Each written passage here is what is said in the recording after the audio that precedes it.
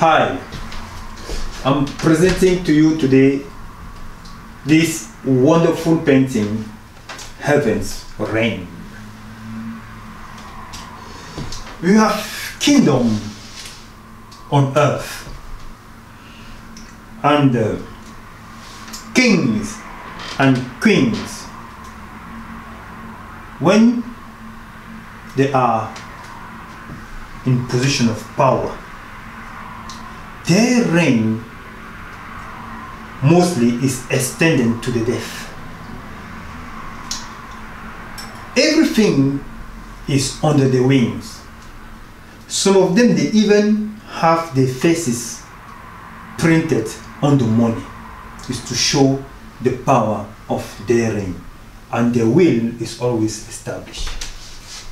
This painting is the heavens who are in charge.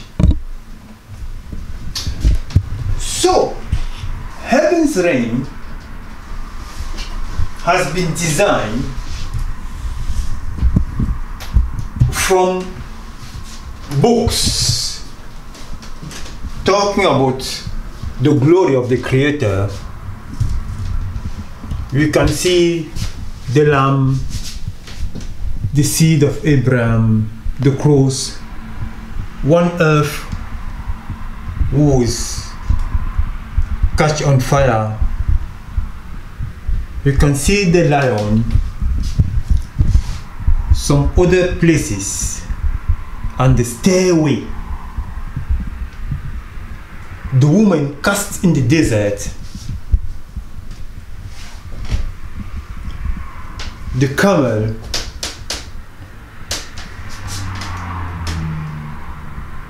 the Eiffel Tower the Statue of Liberty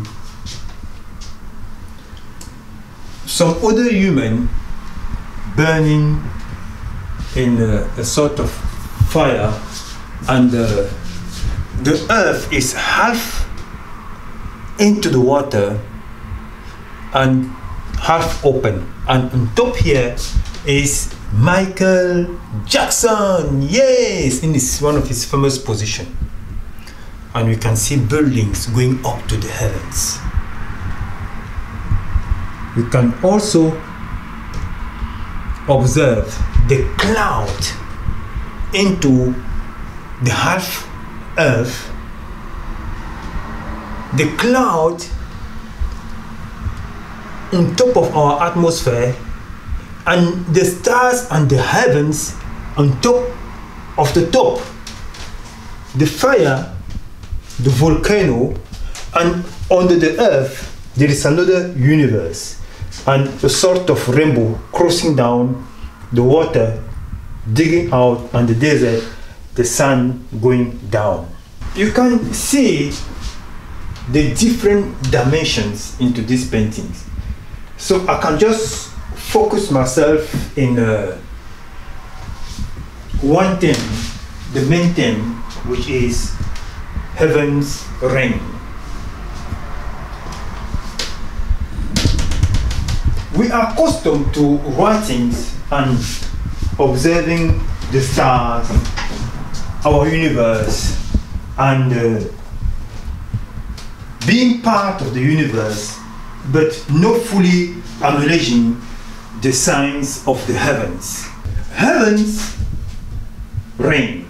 Prophet, philosopher, scientist, thinker, physicians and politicians all of humans are focused into what the future holds in our society when comes to live our life we are always more focused on the tomorrow. Some call the future. But everything in life happens simultaneously. Heaven reigns is a painting that map those change, changes we are always focusing or we are projecting when we look at our future. Most of us, why are we so focused in our future, into the tomorrow, what we want to become, how things have to change in our behalf? It's because we are part of the universe. And the universe is made of change. Change is the life that is in us. Change is the appearance of the universe. Because we are alive means we are changing. Something that is static cannot be alive. If there is a creation, there is a life. So change is not something we are in charge of. Change is something the heavens are in charge of. We are part of the heavens. We are a creation. We are the atom. We are the movement. We are the life. Every movement is part of change. Like I'm speaking right now is already past. That is the change that is inevitable in our realm of reality. Heavens reign.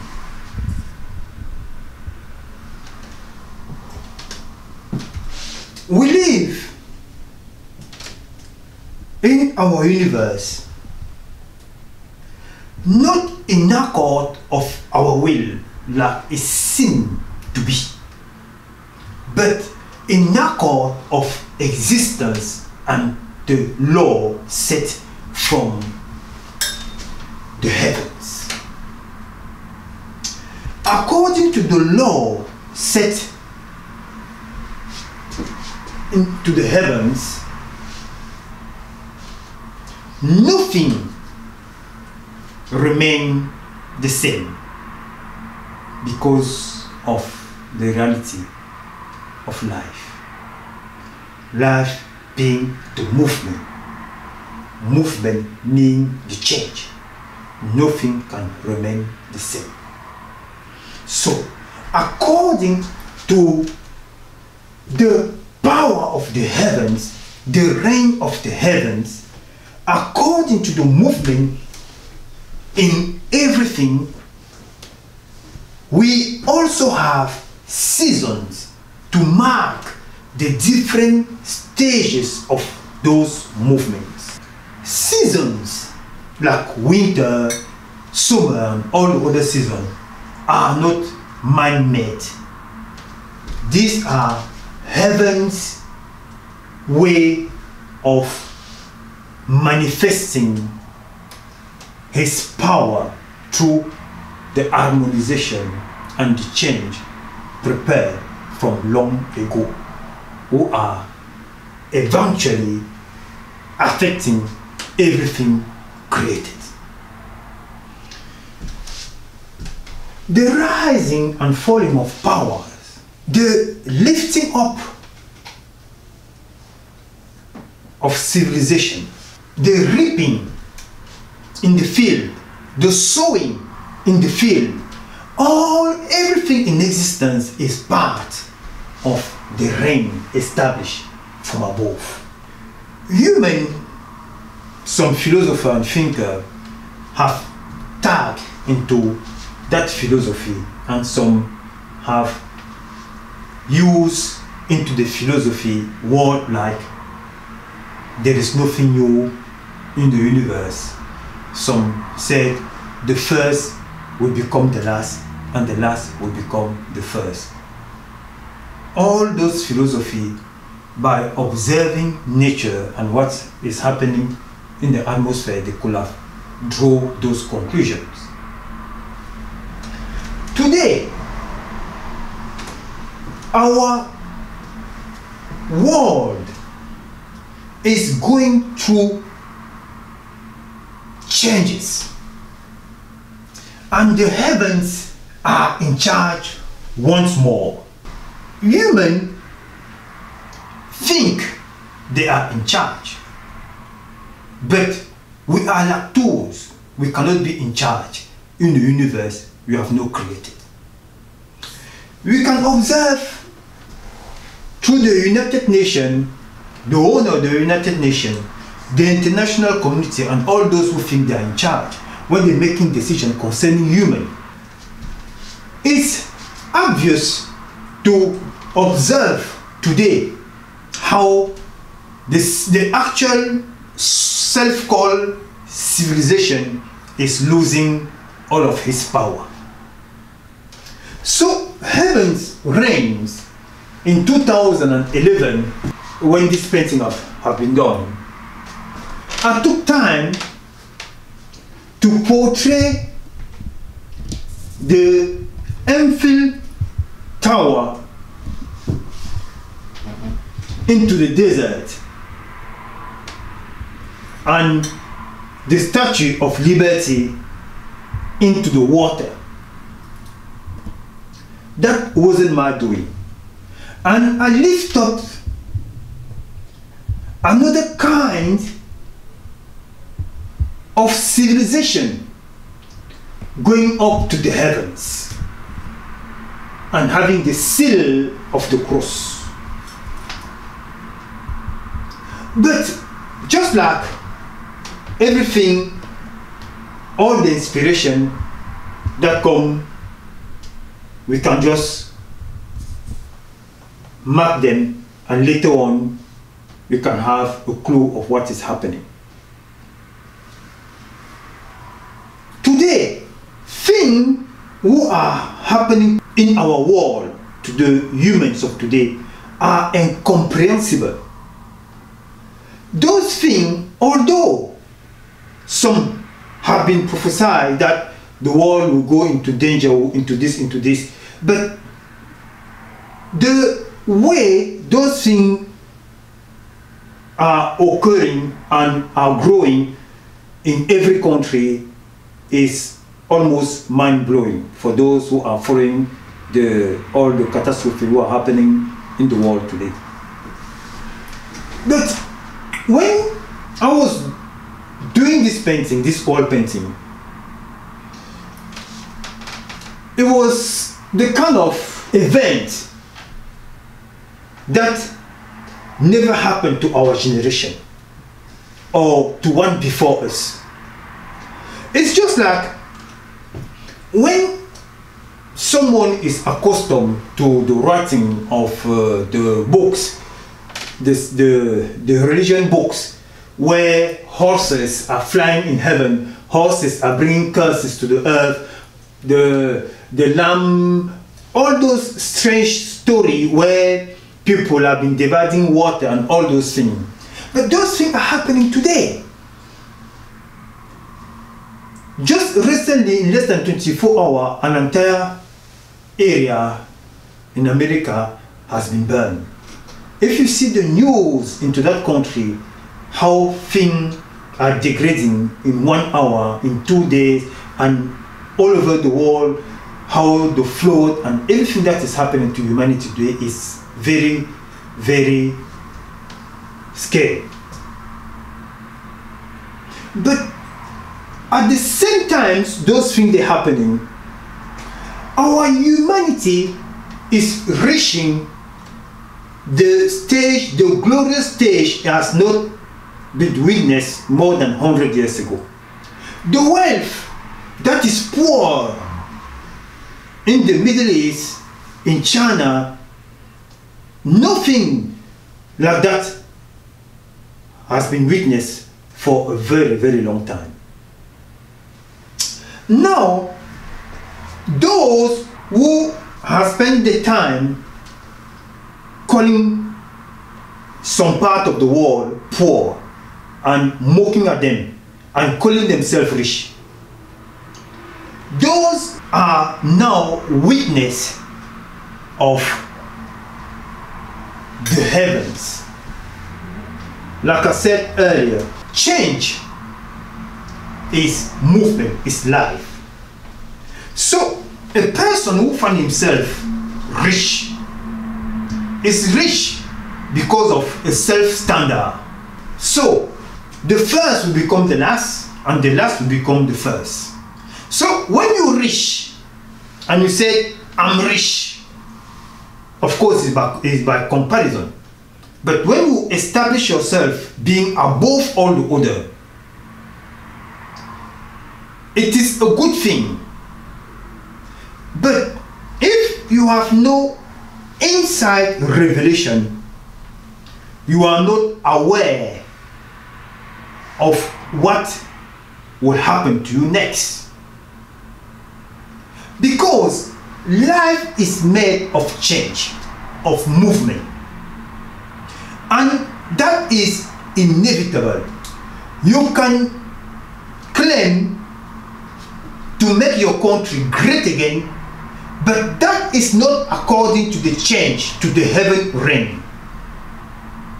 If you claim to be above all other, to be a superior or to be rich, is a state of observation, self-observation, but it's not a state of truth because truth is a divine revelation. Now, according to the heavens, that position will have to change because everything change. So a man that is a superior or that is rich and that called other poor, when the change are happening, where will be his position? Because everything changed. Now, no one can have the desire for the change. But because the power is not in our hand, the power and the reign come from the universe. And the heavens, natural law and natural way of establishing harmony is through a level of peace, understanding, knowledge, love, and wisdom. These are things permitting the harmony to be established. If there is no knowledge, if there is no love, if there is no wisdom, the people perish.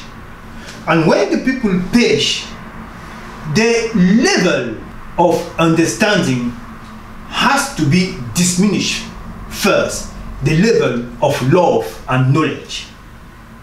And those who are taking away the breath from other, they have to do so according to their ignorance, not according to the knowledge.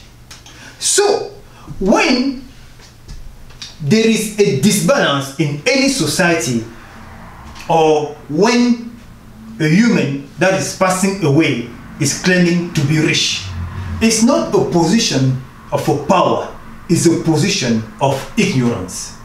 So why the position that women are taking to establish themselves above is called pride.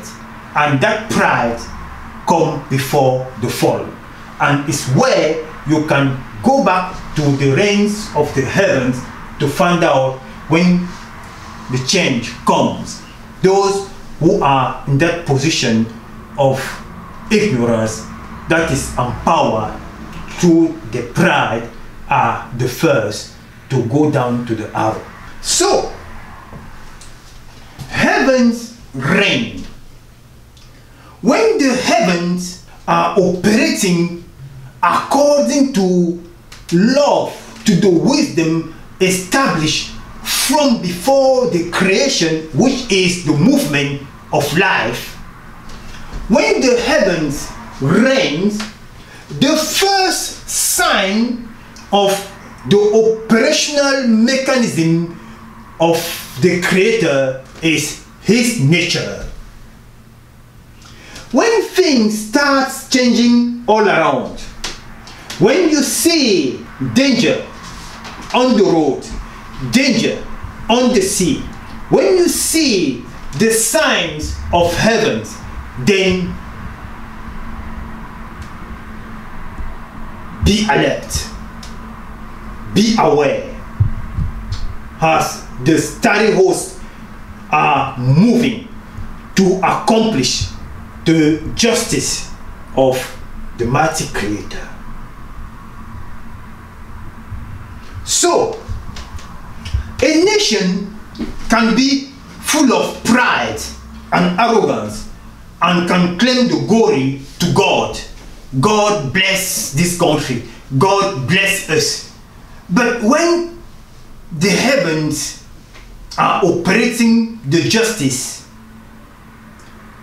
it does not spare those who are holding into the region to claim their weaknesses or the wrongdoing toward other nations. So, if you see a country or a wealthiest country that is surrounded by natural catastrophe is the heavens who are bringing down the justice. If you see the entire world surrounded by that kind of phenomenon, is still a natural way of establishing harmony. Further, when the exploiting land in the past, a few years, they were giving rest to the land. But human, they never give rest to the earth. If it's no war, it's going to be the natural resources who are going to be removed from the earth. If it's not the natural resources, it's going to be human who are going to be punished into the earth. If it's no human, it's going to be the heavy building and the deforestation and all the other things who will be rising from the earth. Today, the moral compasses of human is so low, does not permit them to observe what is happening in our surrounding. In Africa alone, there is almost a thousand different group of rebellion, armed group operating. In the Middle East, with the Arab Spring, we saw the destruction of so many countries, one after another. And in the Western world today, the roots are shaking. You see the tension between different countries. But all of that is because of the control. So the control that humans think they can have in our planet where everything around us seems to be against us. But humans are still having the eyes down to the mineral, to the earthly material. And they are still engaging themselves into the war of domination. But the system that we are operating with in our universe today does not hold in no country. You have the system imposed to the Africans. But if you look at Africa today, that system of election does not hold. Most of the country, the head of state have been there for 30 years, 40 years, and in other countries, you see the army being in power and president being deposed and nothing works. In Europe, we are witnesses the same system since the collapse of colonization. So, those who are focused in the system of the world where the naming countries not to follow the chaotic system that people have to vote every four years where thing does not change. The mentality does not change. The system need to be destroyed. Today the challenges of our world Ah, are not the challenges caused by those failing system the challenges that every human is facing today is not only the inflation that is the result of our wrongdoing, but is the rain from the heavens.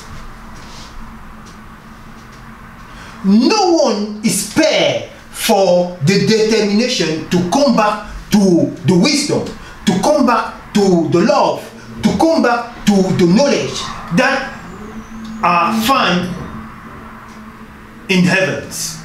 We have departed from our humanity and today we live a life with an uncertain future. We live a life where we haven't got the control of the present. We live a chaotic life in every country and in every realm of reality. Today, farmers don't even know when to plant their crop. The seasons are uncertain and no one can predict the future. Today is the day we need to change the way we are looking at ourselves. Ignorance is a fact in every disturbed civilization. Love is known, but it does not come cheap. It comes through the search of wisdom and the spreading of knowledge. The system of education in our world, which has replaced the former slavery and, and enslaved women from 8 to 5 all their life they have to work. If that was the key, if our world live in peace today, but that has not been the key. So we need to redesign how we're looking at each other. We need to go back to the source of wisdom, to the source of life. Because we are not only making it hard for each other, but we are also making it more harder for the sustainability of our life into this planet, the only place we have to dwell. So, heaven reigns is a call for the organization our world has created to deal with the human problem, like the United Nations and all the international whatsoever they're calling themselves, to have the deepest reflection into what they have been created, the level of suffering inflicted in humanity is at his worst. Although there seem to be no way out, where humans have reached the level to ask the question, how can we feed ourselves? And we need to get rid of some of the population on earth.